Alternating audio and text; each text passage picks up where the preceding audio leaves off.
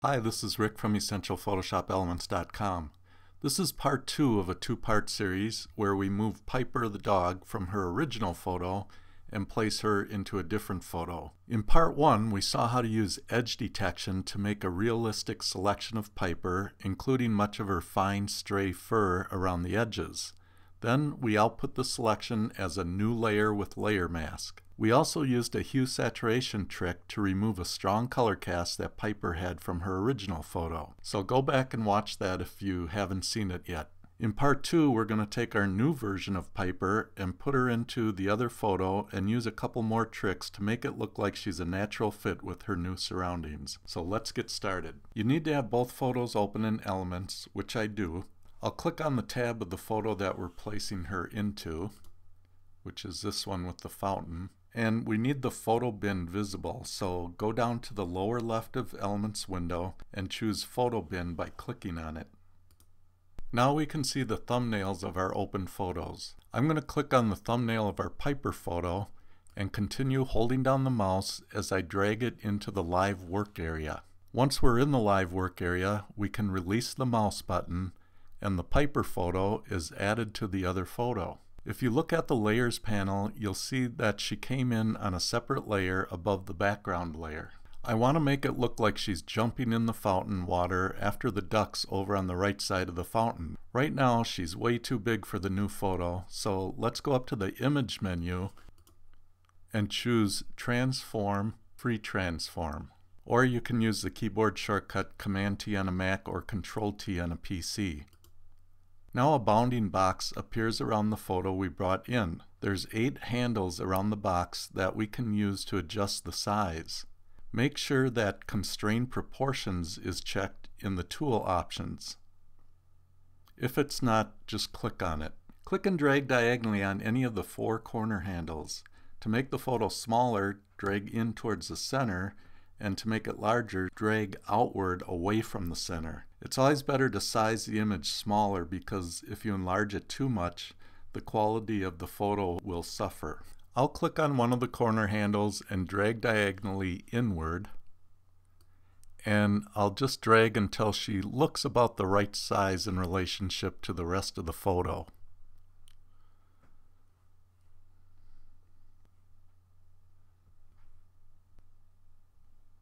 And now I'll click and drag inside the box to move her over here a little bit inside of the pool. I'm also going to rotate her slightly to make it look like she's jumping through the water. To rotate, place your cursor outside the bounding box near one of the four corner handles. When it changes to a curved double-headed arrow, you can click and drag to rotate. I'm going to rotate a little counterclockwise.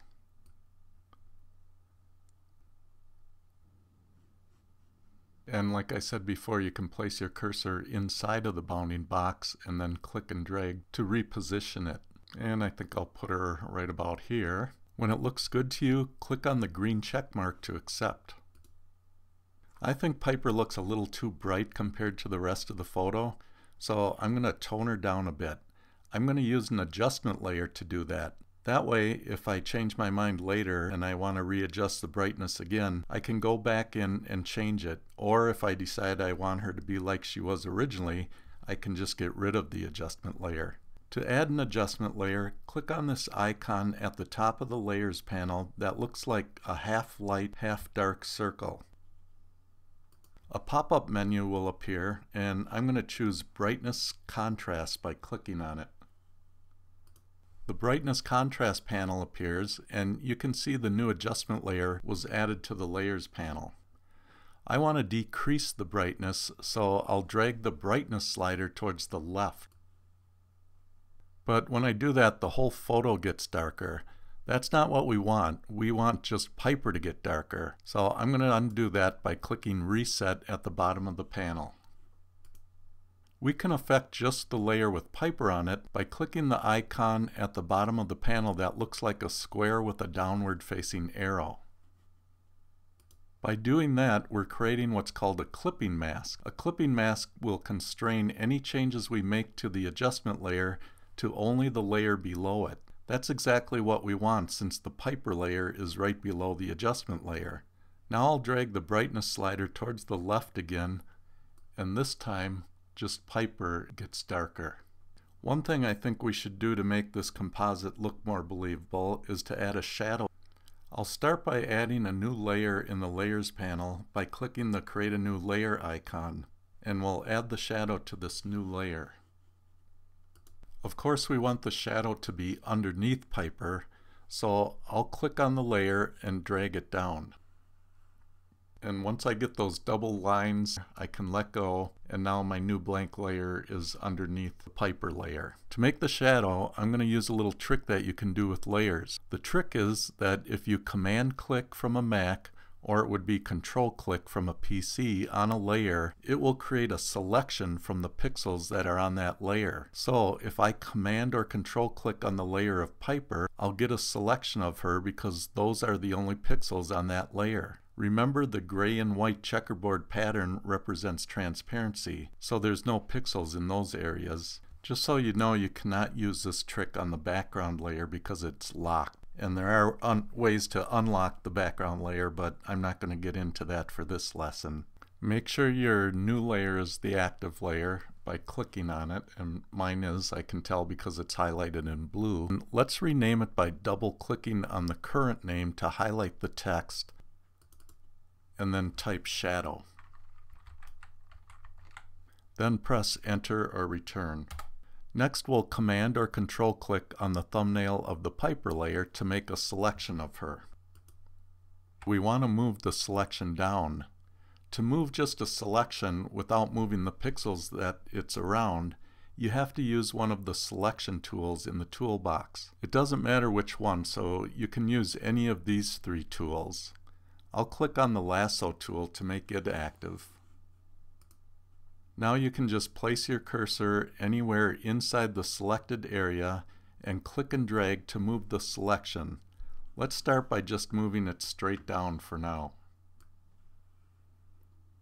Now let's fill the selection with black. Go up to the Edit menu and choose Fill Selection. The Fill Selection dialog box appears. Click on the Use field to see the pop-up menu and choose black by clicking on it.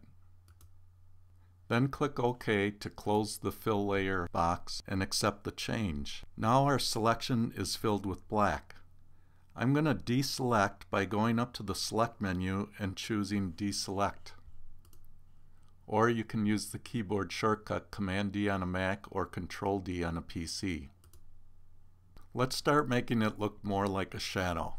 First, press Command T on a Mac or Control T on a PC for free transform. A bounding box appears around our shadow, and there's eight adjustment handles around the box. We want to make it look like it's laying flat. Let's start by clicking and dragging down on the top center handle. That's the look we're after. Now click anywhere inside the bounding box and keep holding down the mouse button as you drag the shadow up closer to the object. That looks pretty good, so we can click the green check mark to accept it. Now let's blur the edges. To do that, go up to the Filter menu and choose Blur and Gaussian Blur then just click and drag it all the way over to the left. We want to give our shadow a nice soft edge, so I'm just going to start dragging as I watch my shadow. And I can see it's getting a little blurrier. And I think for this one, I don't know, somewhere around 8 to 10 pixels is going to probably be fine. And then just click OK to close the dialog box and accept your change. Now let's lower the opacity of our shadow layer. Go up to the top of the Layers panel and hover your mouse right over the word Opacity. And it changes to a pointing finger with an arrow on either side of it. Now click and drag towards the left to lower the opacity. And you can see our shadow getting lighter.